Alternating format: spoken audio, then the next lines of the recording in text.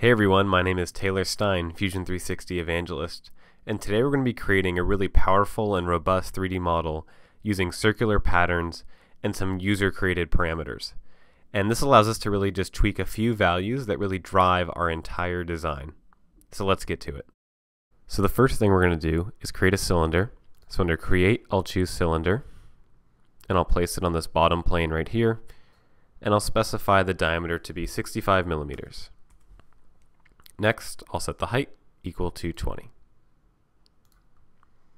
The next thing I want to do is create a sketch. And I want to sketch on this top face of our recently created cylinder. And now I'll look at it from the top view. I'll draw a line from my center that goes straight up at 90 degrees.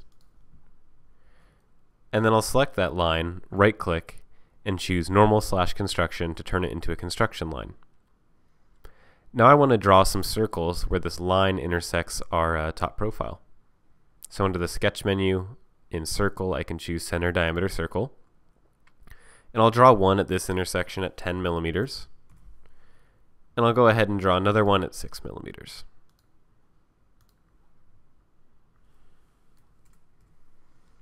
I'll stop my sketch and I'll view my profile from the home view.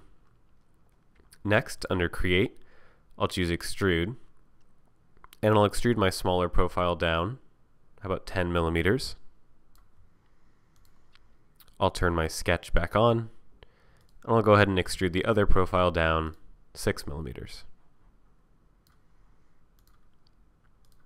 So there you have it. There's our single extrusion uh, on the side of this profile. And what we really want is we want to pattern those two extrusions all the way around this top profile of our cylinder.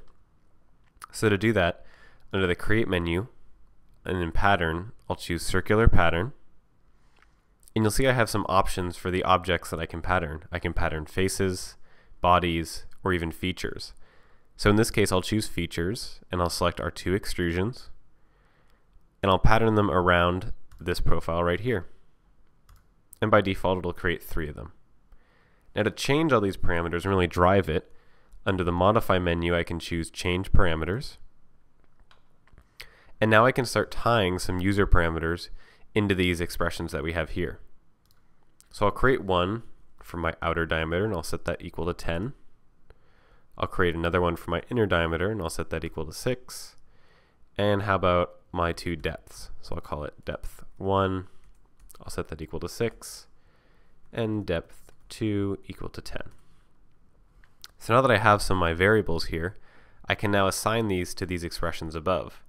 So for example, our first sketch right here of 10 millimeters and 6, I can set this diameter, instead of being equal to the value 10, I can set it equal to the variable DO. And I can do the same thing for the inner diameter here.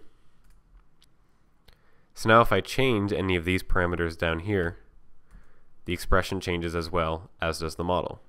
So I'll change this back to 6. And I'll go ahead and assign these two depths equal to my other extrusions. So my extrusion here, I'll set it equal to negative depth 2.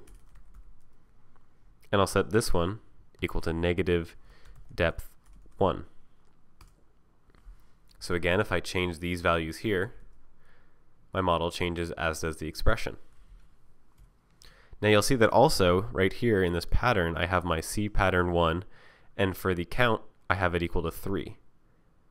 Just as the same as before, I can create my own variable. We'll call it count. I'll set it to have no units, and let's set it equal to 8. Now I can set my count in my pattern from 3 to my variable count, and now it updates. Now the last thing that we want to do is I want to go back and I want to add a chamfer to one of these edges. So under Modify, I'll choose Chamfer, and I want to chamfer this edge and we'll bring it down just a few millimeters. Now I want to pattern this around and have it chamfer every single edge here and I don't want to do that by hand. So I'll go back and I'll create another circular pattern. I'll again select pattern features and I want to pattern this feature around this axis. And for the quantity I don't want 3, what I actually want is my variable count. So I'll set it equal to count, click OK, and you'll see that it updates.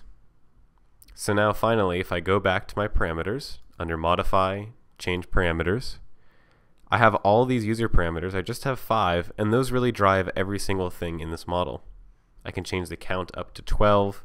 You'll see that it updates, and it properly chamfers every edge that we have there.